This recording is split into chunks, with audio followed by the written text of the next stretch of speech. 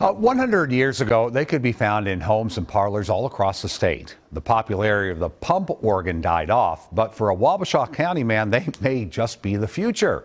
In this week's Finding Minnesota, John Lauritsen shows us why Ron Manzo collects and repairs these musical treasures. Small town is where people know you when you go into a store and you feel comfortable here. Ron Manzo has spent most of his life in Plainview, Minnesota.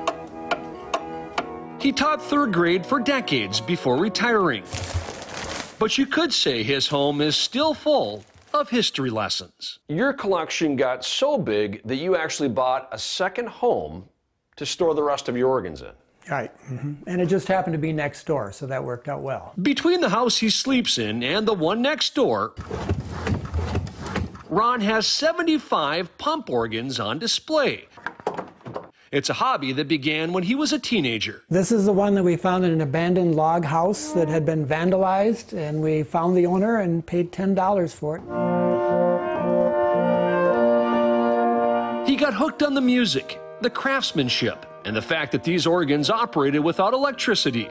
Before the internet, he bought them at antique stores or found them in newspaper ads. Now he goes online, and like a do it yourself auto mechanic, this is a 1921 organ. He's a do it yourself organ repairman.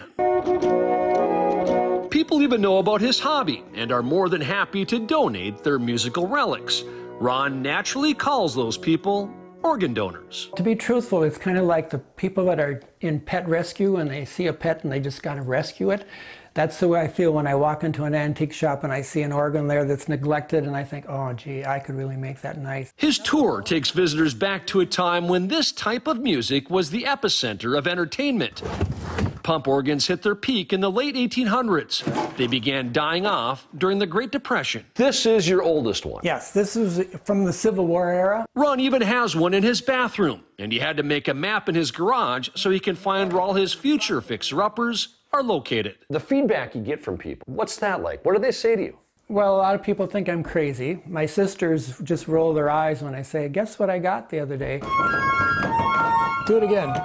This one right here? Yeah. But part of this is to prove that families once lived without iPhones, iPads, and social media.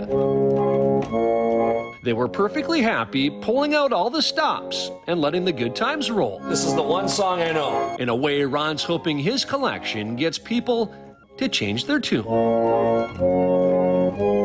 It was a central point to bring people together, and it still can be that today. How about that? That's perfect. In Wabasha County, John Lauritsen, WCCO 4 News.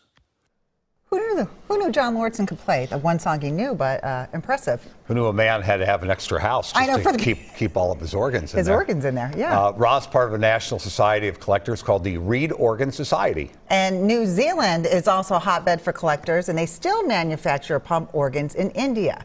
For more information on how you can tour Ron's collection, visit WCCO.com slash links.